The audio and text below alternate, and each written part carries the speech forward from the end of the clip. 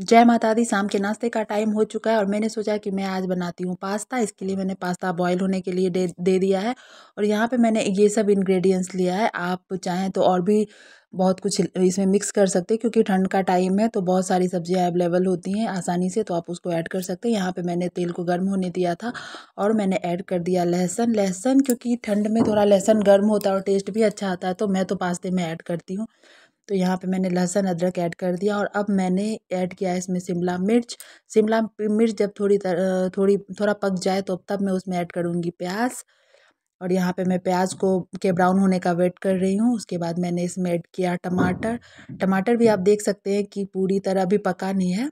अभी थोड़ा सा इसमें टाइम है और ये जब टमाटर पूरी तरह से पक जाएगा, तब मैं इसमें ऐड करूँगी बॉयल पास्ता जो मैंने छान कर रखा हुआ था। यहाँ पे देखिए मैंने ऐड कर दिया है। मेरे घर में थोड़ा ज़्यादा लोग थे तो मैंने थोड़ा सा क्वांटिटी ज़्यादा दी है और आप कम भी क्वांटिटी दे सकते हैं। तो यहाँ पे इस तरह से मैंने ऐड किया है पास्ता। पास्ता के ऐड करने के बाद उसमें एक दो मिनट बाद हम ऐड करेंगे पास्ता मसाला।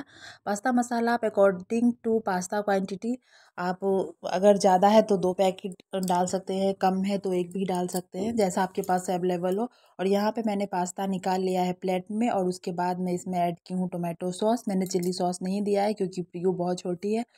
और यहाँ पे मैंने देखिए कि मैंने, मेरे हस्बैंड और प्रियू दोनों को सर्व कर दिया है। और जब मैं पास्ता बॉईल कर रही थी, तब मैंने उसमें हल्का सा ऑयल मिक्स किया था। इससे क्या हुआ कि पास्ता एक दूसरे में चिपकता नहीं है और जब चिपकता नहीं है तो घर में बनाने में भी मतलब आप विदाउट कोई उस तरह का स्पेशल कोई कढ़ाई यूज़ नहीं करना पड़ेगा। घर का ही जो आप यूज़ करते हैं, उसमें भी बन जाएगा। जब चिपक जाएगा तो वो एक टूट जाता है और तब अच्छा नहीं लगता है। और यहाँ पे देखिए ये लोग पास्ता इंजॉय कर रहे हैं। मैं भी इंजॉय करके बताती हूँ कि कैसा था। बहुत ही मतलब बहुत ही कम समय में मैंने इसे बनाया है। अकॉर्डिंग टू टेस्ट मुझे अच्छा लगा। आप भी ट्राई करें, आपको भी पसंद आए